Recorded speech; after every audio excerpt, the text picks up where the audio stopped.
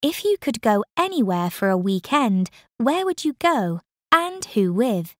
If I could go anywhere for a weekend, I would go to Yellowstone National Park in America and I would take my fiance because it's where she would want to go for her honeymoon and I think it would be a nice treat for her. If I could go anywhere, I would go to Italy.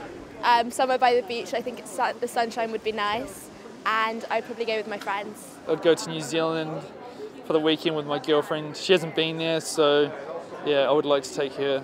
I think I would go to New Zealand um, and with my friend Hannah because I enjoy walking um, and I think it has a lot of beautiful um, scenery that I would love to experience for myself and not just through pictures. If I could go anywhere for a weekend, I would go to New York with my girlfriend. I think it'd be lovely. Uh, that's where I would, if I could go anywhere, that's where I'd like to go.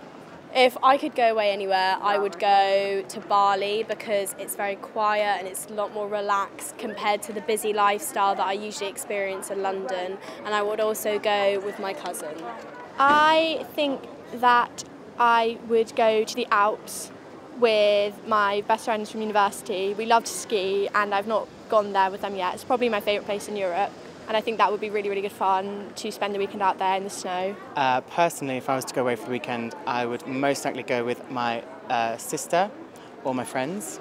Um, I love booking a flight and going over to Europe. I think it's super, super easy, much easier than people think it is. Um, so, city break in Europe.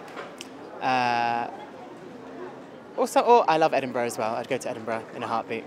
Probably go to Rome for the weekend, I think, uh, for the food and for the culture. And yeah, and I'd probably go with one of my best friends or maybe my mum, depending what mood I'm in.